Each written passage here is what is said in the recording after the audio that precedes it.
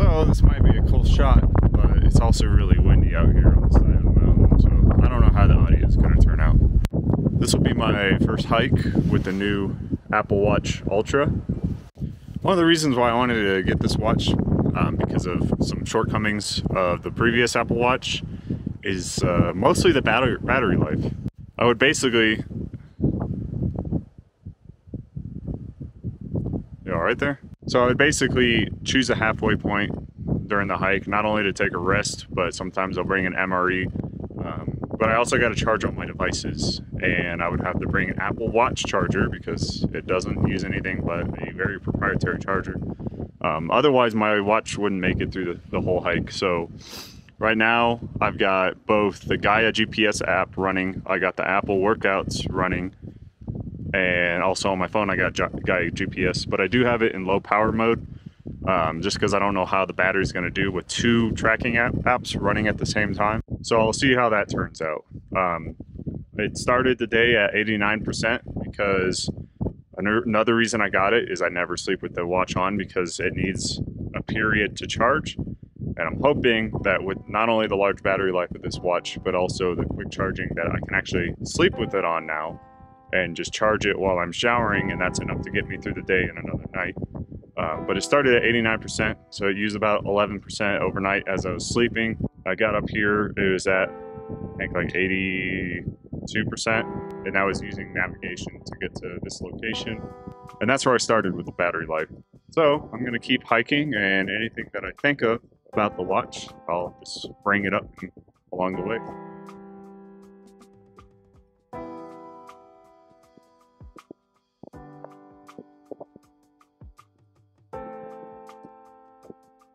So one thing I was hoping that the new Apple Watch fix is its friendliness with gloves. So they added this berm around the buttons to not only protect the crown, but the, the button.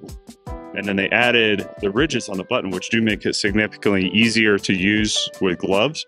But with these full grain leather gloves on my previous watch, um, I would actually wear the watch upside down, especially with the strap on. It would hit the buttons.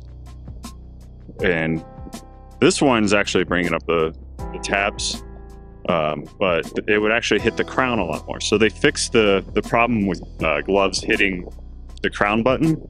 But right now, every time I look at my watch, it's in the app view. And it helps a little bit if I leave the strap undone, but it doesn't completely solve the problem. So the second feature that intrigued me about the Apple Watch Ultra is the dual GPS. Now dual GPS is kind of a new thing. It's been around for a while, but I think I think it more recently got released to the public. Because uh, even Garmin and their handheld topographic GPSs or GPS map, I know, really great name, they didn't have dual GPS as an option until like 2019 or 2020. So Apple advertised the heck out of the Ultra having dual GPS, but they also kind of quietly launched the iPhone 14, which also has dual GPS. And what that essentially does is in a wide open area, it increases its accuracy by double. Um, so instead of a 10 foot accuracy, you get a six foot accuracy. Uh, this is a bad example here. If you're in like a ravine in between two mountains or in a canyon, or even just in a really dense side of the mountain, you can get really bad locations and it's called reflection. So GPS is essentially just a radio and all it does is receive. It doesn't transmit unless you get like an inReach or the new satellite emergency thing on the iPhone, same thing. It's essentially like light. And just like light, it can reflect off of things. And reflection might, in some cases, be brighter than the light source. So what happens is the GPS signal comes down, bounces off the canyon wall, and then hits you, which is a longer distance. And it, all it is is it takes the time, the clocks that three different GPSs are transmitting, sometimes for elevation. And then it does some math and it determines where you're at. But if one of those GPSs is giving off a longer distance, it's going to show you in the wrong location. And my last hike had a really bad example of that, to where I just kept jittering about like two miles away because I was in kind of a ravine. Now, what dual GPS does is it's like your Wi-Fi router. It's got two frequencies that go out, 2.45 gigahertz, and it uses some math, same satellite, transmitting both those frequencies to determine if that's reflecting or if it's a direct signal because the frequencies act differently, they reflect differently, and if they're both lined up, everything's fine. If they're not both lined up, it's pretty suspect. I don't know if it corrects it that well or it just kind of ignores that satellite so, signal. The next uh, feature that kind of sold me on Apple Watch Ultra was the fact that it was made out of titanium. I was a little suspect about if it was truly titanium, which it likely would be, but also the grade of titanium. There's so many different grades of titanium. Most of it, I think it only has to be like 2% titanium by weight or volume, um, and it's mostly aluminum, which is just fine. And it does have a lot of benefits over a lot of forms of aluminum, but it's not the titanium that people think of. Now, I've had this key bar ever since I first heard about them, like a decade ago. It cost me $100 because it is a solid cut of titanium. They just got some titanium bar, and all they did was mill it out into this key bar shape. But it's got almost no scratches on it, even though it's always around keys. It's always in my pocket. I've been using it for 10 years, and there's no wear. There's barely even a polished edge around it. And it's a higher grade of titanium and it's not the same color as the Apple Watch because this you can see a lot of the metal grain in it, which obviously Apple's not going to go with that part of a titanium grain because they don't want the grain, the grain to show. I personally like it, but most people won't. They want a nice clean finish.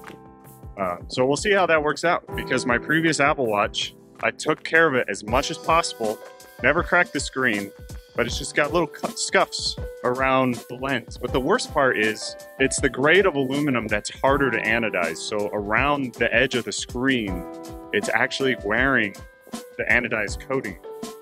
And that's something I don't want if I'm gonna keep this watch for a very long time. So I wasn't gonna upgrade for five years after I got the Series 5, I was gonna get the Series 10.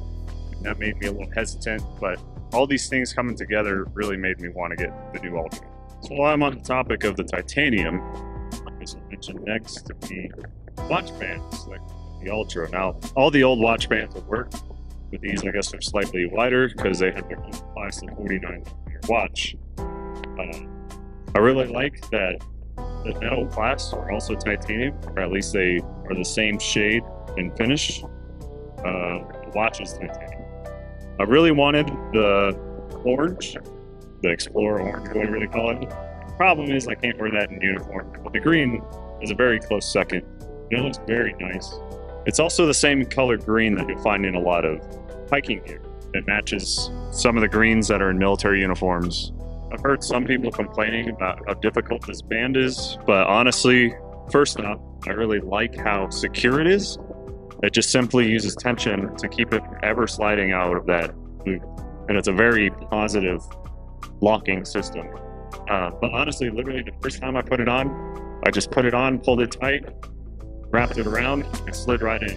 And so it's slightly difficult to get off. One thing I did notice, the links kind of fold in half on that hinge or whatever you want to call it, that bar that it wraps around. You have to go an even amount of loops down to catch it in between loops on that link up top.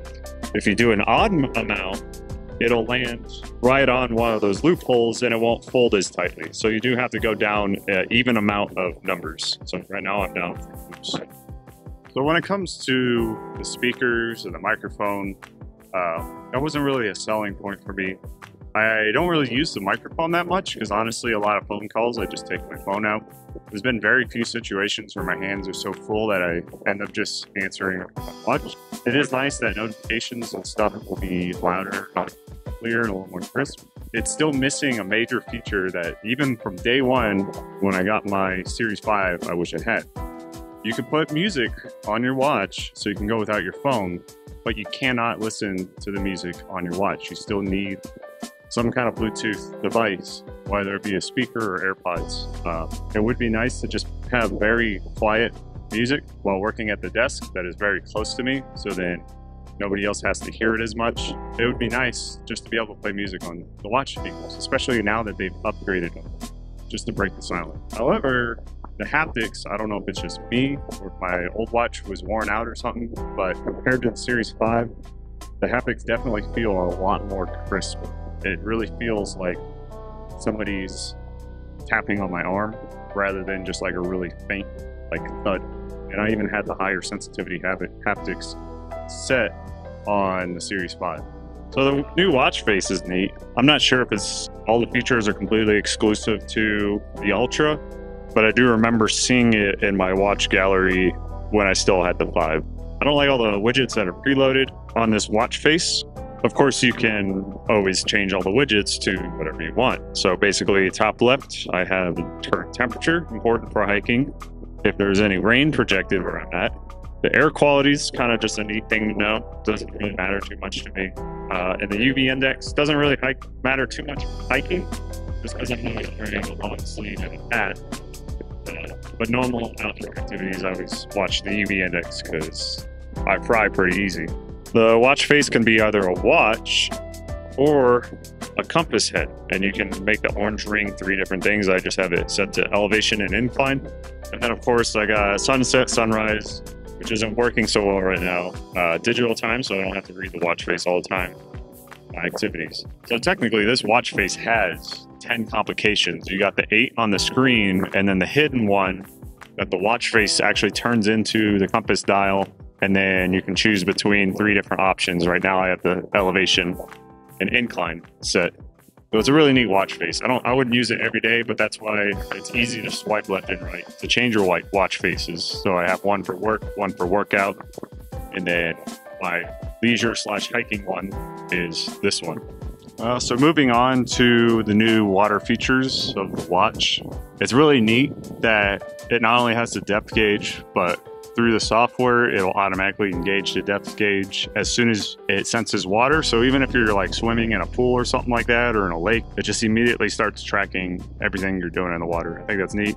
I'm not really a diver, so I don't have too much use for it, but it is neat to see as a proof of concept feature that hopefully they'll start including in a lot of watches. And it's always nice and reassuring that much higher waterproof rating versus the regular watch. The design of the case itself is a nice change. I was afraid it was going to be way too bulky with that lip, but I kind of like that it's the classic Apple Watch shape with the lip added on top for the possibly thicker glass because I don't know if it's actual sapphire, but if they made it thicker, it's just naturally stronger than. But there's also a plastic ring going in between the two layers. And I think what they're doing that because in the in the box that it came in, it it had an arrow pointing to that ring and it cut it that's where it mentions the dual band GPS. And I scratched my nail along it and I believe it's a glass fiber plastic. So it's a super strong plastic and it might also absorb a little bit of impact of the screen.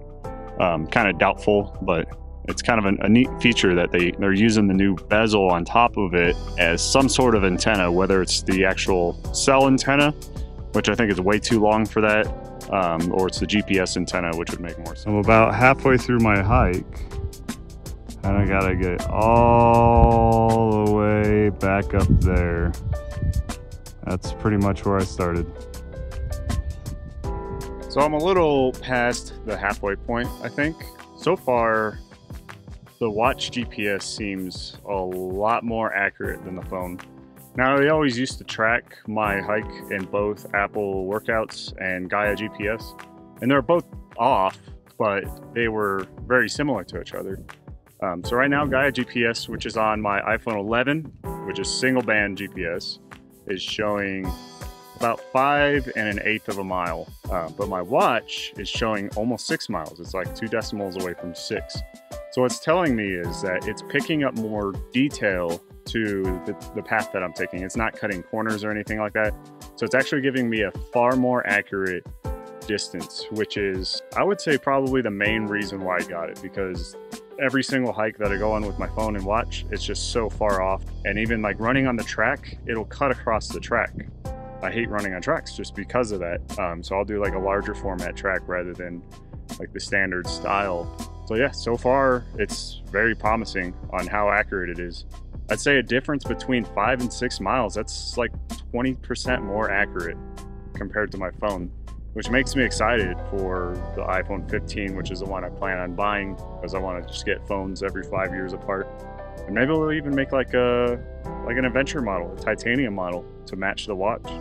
We'll see. Also, I stepped on a wasp nest and I freaked out a little bit and ran up the hill to get a little bit distance before they realized what was going on. And I dropped my radio and a rock landed right on the screen. So the radio works just fine, but I have no screen. Luckily, I can still just manually enter in channels and I can still put it in scan mode, which is what I do 90% of the time. So a new feature that's, it's not this watch thing, but it's a software thing that recently came out that I really like is the new power save mode. So I don't know if anybody remembers the old power save would basically put the watch in hibernation and then every time you wanted to see the time you would hit a button and it would take forever for a little dim green clock to show up.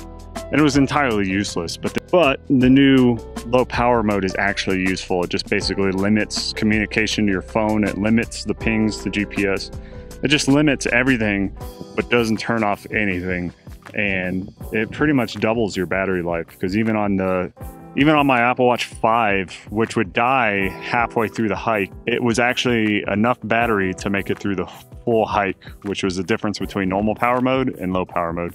So yeah, it's something I can really appreciate. So I'm about three quarters of the way through the hike, uh, about eight miles. I got a long hike straight up the side of a rocky mountain. Um, and my Apple Watch is still at 60%. And just remember, started at about like 81, 82% before the hike, but I left it in low power mode because I wasn't sure how the power was going to do. So I didn't want to miss any of the hike. Um, so I'll continue recording, but overall, my first impressions with the new Apple Watch Ultra is really good. I don't know if it's worth the $800. It's still kind of a niche thing, but it fills my niche. It's just overall I think I paid 500 for my Series 5 with cellular service. And so this is $300 more. When I say it's $300 more in features, I would say give it a few years and it would be worth the same as 500. But I do believe it is 300 more in features with the whole titanium body being super durable, uh, the super accurate GPS, the really good battery life, and all that together. Um, I like it. So I would recommend it, not really to anybody that's not going to use these features because it is really overpriced. Anybody that does like outdoor stuff for sure, it's I think it's worth it. So yeah, I'm gonna hate myself, but it's time to get up that mountain. I'm about halfway up the final leg of the trip. It's the final climb, and I've got that much more to go. There's a watchtower up there. That big rock. And there's a saddle in between. And that's pretty much where this trail goes up to. And then it's still got like another mile on a decent road. So I'm at seven hours, about nine and two thirds of a mile. And I think I got about an hour left because this is the nastiest part. I looked at the GPS and it's just a bunch of switchbacks. Not looking forward to that.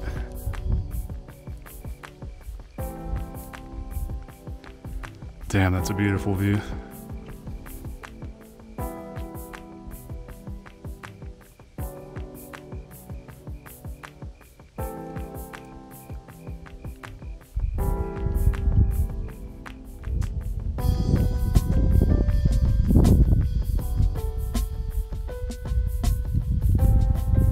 I am almost there. You can see the light, or not the light tower, the watchtower just up there and I can faintly hear voices being carried by the wind. It's crazy to think all those sharp rocks between. It's crazy to think that all those pointy rocks behind that big rock is where I was just at.